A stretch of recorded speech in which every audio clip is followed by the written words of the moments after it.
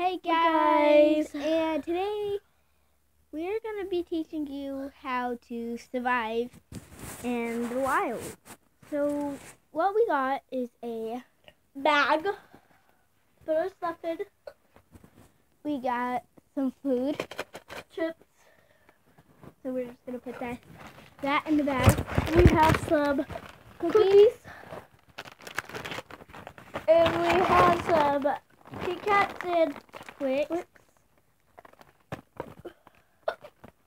And you guys always need to pack something healthy, cause like you could die.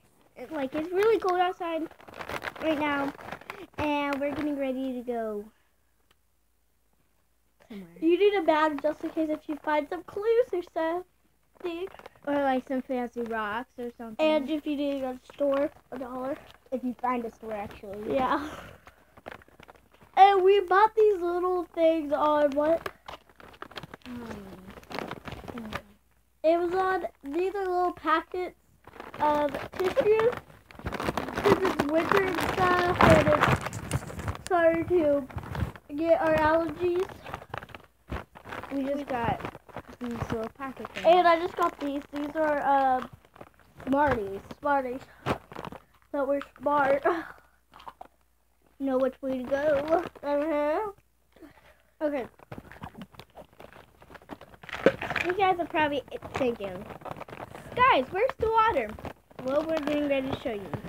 Since it's really snowy outside, we could just eat the water. I mean, eat the snow.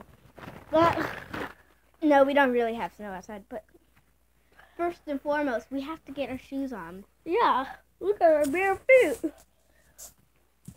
I am wearing. I'm wearing flip flops to show you guys it's gonna be cold out, so I wouldn't wear flip flops if I were you. To be wearing my grippy shoes, because we are going to be climbing outside. Uh, that's hard for me. Wearing sandals.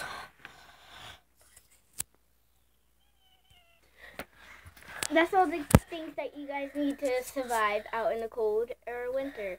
We're getting ready to go climbing because on a mountain. Yes, we're going with my family.